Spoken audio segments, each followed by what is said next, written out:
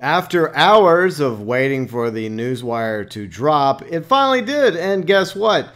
It's an exciting sequel to last week's crappy event week. Yes, I bring to you crappy event week 2, Poo Boogaloo, or another event that's crappy. Yes, so link below in the description section. So here's what's happening. Bonuses for collectors and bounty hunters alike, plus free collectibles, offers, rewards, and more. All players who jump in Red Dead Online this week will receive two bird eggs, two arrowheads, two family heirlooms. Should shiny objects be your obsession of choice, collectors who dig up at least five collectibles will get an offer good for 40% off an established or higher collector item, while collector rank 5 and above will get four uh, fossils and a reward for a free coat. Bounty hunters can earn 50% extra pay on all bounties. I guess that's that's good, I suppose. Better than last week. At least you get something for the bounty hunter uh, besides rewards. While those who complete the legendary bounty will receive an offer for 40% off an established or higher bounty hunter item. Bounty hunters rank 5 and above will receive a free roll outfit, accessory, or emote. So I guess the sequel is a little bit better than last week's crappy event week. It's still, for the most part, a crappy event week, but hey, 50% extra pay for all bounties. That's good. And, uh, yay. So moving on now to some more limited stock clothing items. You have the Porter jacket.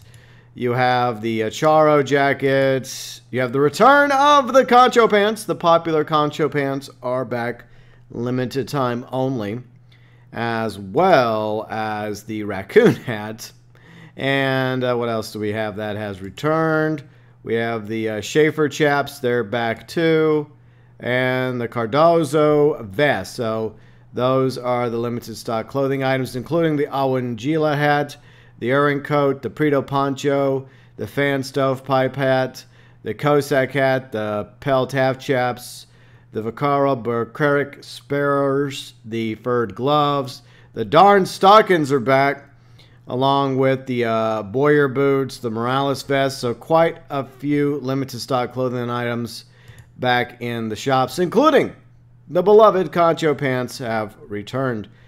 And here's the Prime Gaming stuff, yada, yada, yada. Most of you know the drill. If you have your Prime Gaming account, link to your Rockstar Social Club, 5 free legendary animal pheromones, 6,000 natural XP, free wilderness camp. I'm sure most of you have taken advantage of these discounts and deals and rewards already.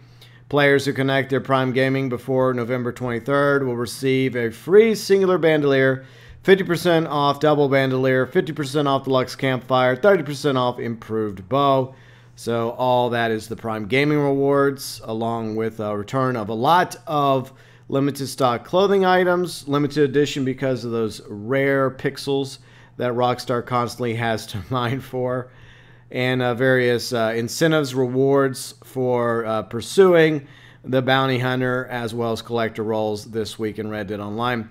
And another reason why I'm going to consider this to be a crappy event week is because, once again, there is no information, no tease, nothing regarding the next update to this game. The fall 2020 update, November update, whatever you wish to call it. This would have been a good opportunity for Rockstar to at least give us a nice little tease or a screenshot, an image below in the description section of this article to get us excited for the next update, to get the hype building up, right? But nothing. Typical Rockstar fashion. Oh well, say la vie. It's not as crappy as uh, last week, and some of the limited stock clothing items make it a little bit better for those of you that have yet to get some of those items. For the rest of us, we're like, yeah, the, the Concho pants are nice, the Owanjila hat's nice, but I already got those. But for everybody else, okay, go to your uh, nearest clothing store and check them out. And if any of those uh, limited stock clothing items you happen to like, purchase them, and they'll be in your wardrobe for good, for whatever you end up purchasing, that is.